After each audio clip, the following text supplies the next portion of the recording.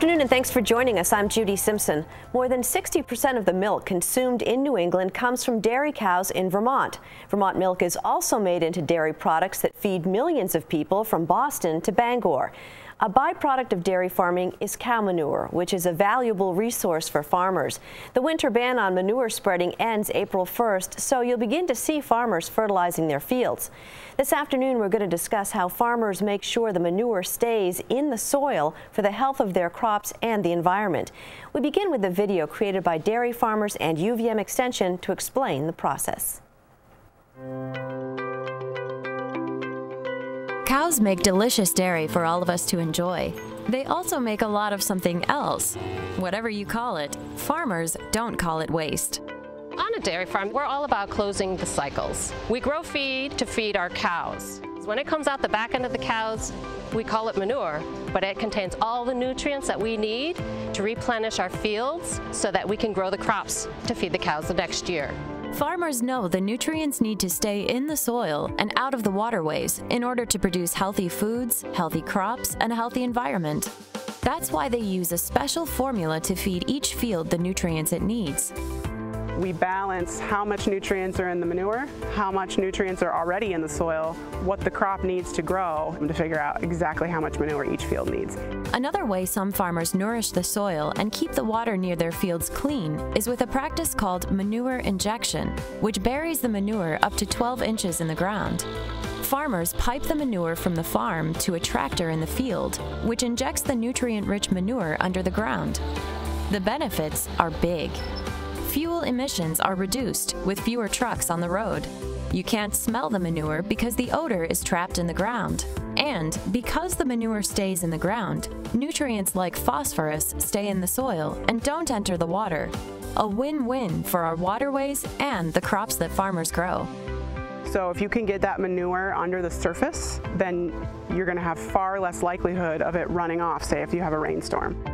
If you have healthy, high-functioning soil, you have healthy crops growing, but you also then are protecting the environment, reducing runoff. All of that kind of comes together around soil health. I have never been prouder to be part of uh, the agricultural community than I am right now. We have three generations of our family farming here. My grandchildren are here, and I want our great-grandchildren to be able to stay here as well. And that's part of why we try to do the best job we possibly can.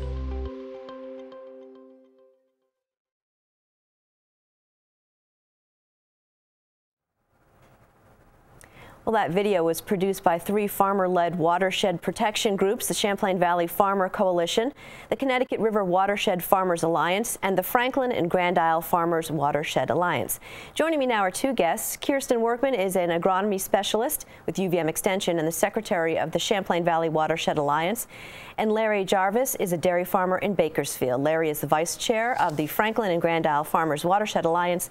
Thank you both for coming in. Thanks for having us. Now, Kirsten, some people might think that manure is only a waste product, but it is actually an important resource. It's very valuable to farmers, and I'm sure Larry would echo that. Mm -hmm. um, but it's very important to a dairy farm in terms of growing forage crops for their cows. So it's it's a very valuable fertilizer, and any gardener would tell you that they'd be very happy to have that kind of nutrient source to add to their garden to grow their crops. And dairy farmers are really good at recycling everything and utilizing everything, and um, manure is definitely a huge part of that. Because so. there's plenty of manure since I think my notes tell me a cow yes. produces as much as how much manure a day? Well, in pounds it sounds a lot because it's heavy. yeah. it's like 120 pounds and it's of manure and urine altogether. Um, so that's, you know, just about 14 gallons in volume a day. Mm -hmm. um, but, um, you know, that, that that material is also used for many other things on the farm. So some farms are using it through their anaerobic digesters to create electricity. Others are separating the manure and using the solids for bedding and reusing it in the barn, um, and then still using what's left for fertilizing their crops. Um, so it's a very, very valuable resource. So how do farmers uh, make sure that they're applying the right amount of manure to their fields that will be absorbed in the soil? That's a really good question. Um, so the first thing you talked about the winter manure spreading ban, and so in Vermont, that's one way that we do it is by when we spread. So we're not spreading, hopefully, when um, there's going to be the most risk of loss. So we do that during the growing season, um, and then. Most farms now in in the state of Vermont are going to be required to have a nutrient management plan.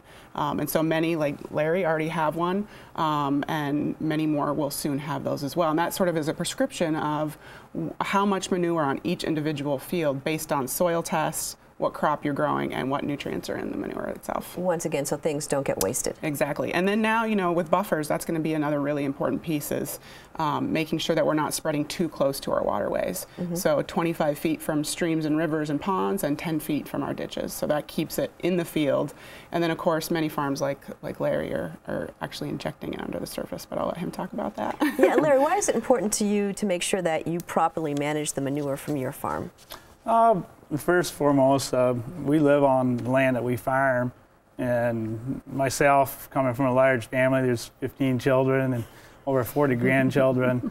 Uh, That is a big family. definitely, we want to keep something intact for them to uh, be able to keep farming from there. And uh, utilizing the manure, uh, it's, it's kind of like a, me, myself being a dairy farmer. We're always trying to uh, do better things for the cow, her environment, uh, making things better for her to produce a great quality.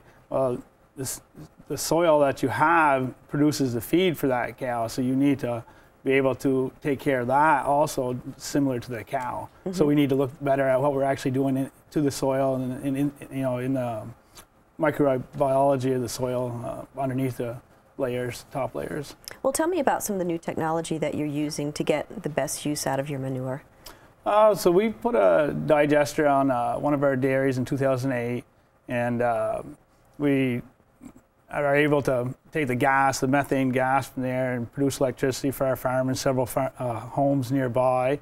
And um, you know that cuts the cost for uh, running our dairy. And uh, another byproduct we get, we squeeze uh, the effluent that comes out and we get some solids. Use that for bedding for It's the like cows. sawdust, really. Sawdust, and, and going through the digestion process is uh, doesn't have bacteria, so it's it's a really great environment for the cows to lay on. And uh, but one of the uh, things that happens by doing that, the effluent or the manure product that you have now is more watery. So when you apply it on land, it tends to to roll all over the place more. And uh, so we'd like to. We went through some different systems to try to figure out how to take better care to keep it where it needs to be. And we first started with a manure spreader with some injectors in the back.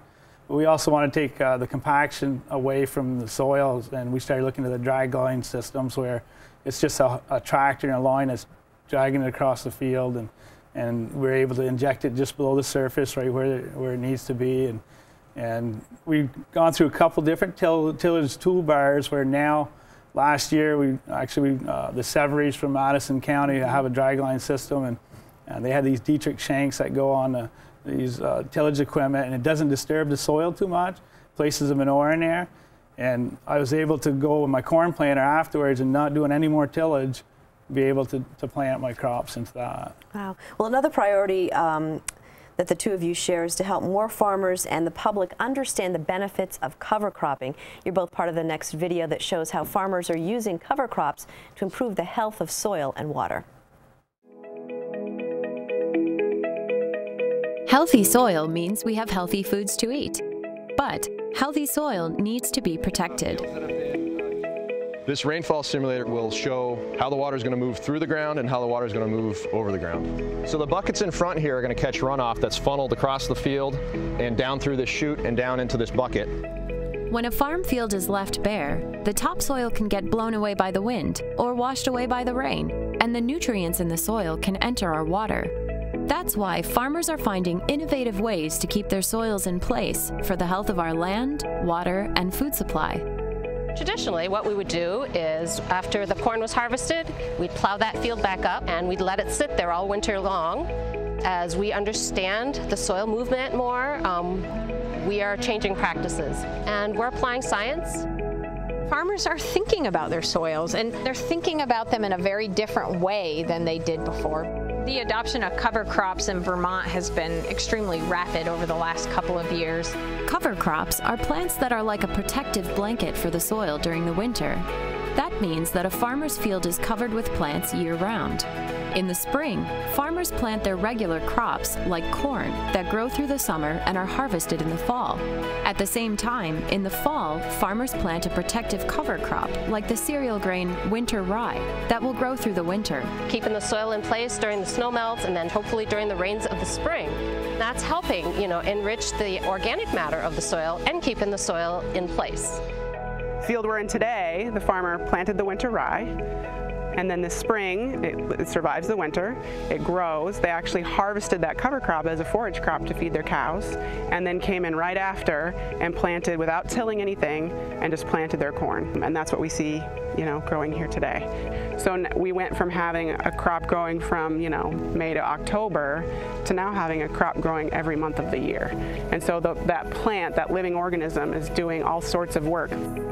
These cover crops, the root systems that they provide in the soil, are actually doing the tillage work themselves. And the worms will travel up and down these root systems, and it allows the water to infiltrate down into the soils instead of running off the, the tops.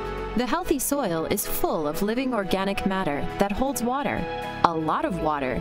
Each 1% increase in soil organic matter through using cover crops helps soil hold 25,000 gallons more water per acre the more closely we got to natural conditions, the less runoff that occurred. If you look at the back buckets, the no-till and the hayfield and the forest floor show the most amounts of soaking in occurring, and that helps trap the sediment that would come off the field. We are proud at the end of each day. We know that we are doing it in a manner that's good for our animals, we're doing it in a manner that's good for the soil, good for the environment, and good for our families. We're back in the studio now where I'm discussing farmer-led efforts to protect our water quality. Larry, what type of plants do you use for your cover crops? Uh, we have, uh, of course, the main one we use is winter rye. Mm -hmm. uh, we try to get some different ones in, which is ryegrass, some clover, some vetch, uh, even tillage radishes. Uh, uh, and being part of the Farmers Watershed Alliance, which is located in Franklin County in Grand Isle, mm -hmm. um, yeah, we have been doing more cover cropping and over 10,000 acres this past year and uh, and also learning how to, to put these cover crops into the ground earlier because a lot of them can't be planted late in the season. They have to be planted before September or September 15th. So you have a growing corn crop. You have to try different methods to be able to establish this cover crop and use, using UVM extension in their research. Uh, I know up in Franklin County, Heather Darby has it and Kirsten as in Addison, different plots where they try different diverse uh, cover crops. Uh, and Kirsten, does it matter what crops you use? I mean, the most important thing is having something living and growing out there. So mm -hmm. just depending on your system, but yeah, I mean, definitely different plants are going to provide different ecosystem services, and that's what we're try really trying to figure out. And farmers like Larry and the folks that I work with down in Addison and Chittenden and Rutland County um, are helping us figure that out to see what are the benefits and what does better here in Vermont. So, so overall, are more farmers using cover crops? Vastly. Really? So yeah, Good. I mean, in the last three to five years, it's been a huge increase, and I think people just driving around probably even notice it. I mean, we've gone to you know a handful of fields that were getting cover cropped five years ago to now this year. Um, we worked with NRCS to try and get a bigger picture of the whole statewide impact, and and we're we're estimating over 25, almost 26,000 acres of cover crop in Vermont this year, yeah. and that's roughly a quarter or more of our cropland that's in annual crops. So that's that's really impactful um, to see that happen so quickly. And and that what's really important about that is that translates into huge savings in erosion. So those mm. 26,000 acres are saving at least you know 28 tons of topsoil staying in the field, and that equates to something around we estimate 50 tons of phosphorus that's not leaving those farm fields. So that's really important. That is important too, and I, I would think your neighbors watching what you're doing saying, well, you know, how come you're planting this time of year? Yeah. But it's, it works. It, yeah, it definitely works, and you know, like you said, the public's watching us, and and you're just trying to do the best job for yourself, but it's also uh, for the surrounding people, environment around you. Yeah, definitely. All right, well, folks want to learn more about what we're talking about. You can check out the Must Be the Milk website that's listed on your screen. You can also explore Must Be the Milk on Facebook and see and learn the various ways that farmers are working to protect our water and soil. Thanks so much for coming on today. Thanks for having me. Thanks, Judy. That's our program for today. I'm Judy Simpson. We'll see you again next time on Across the Fence.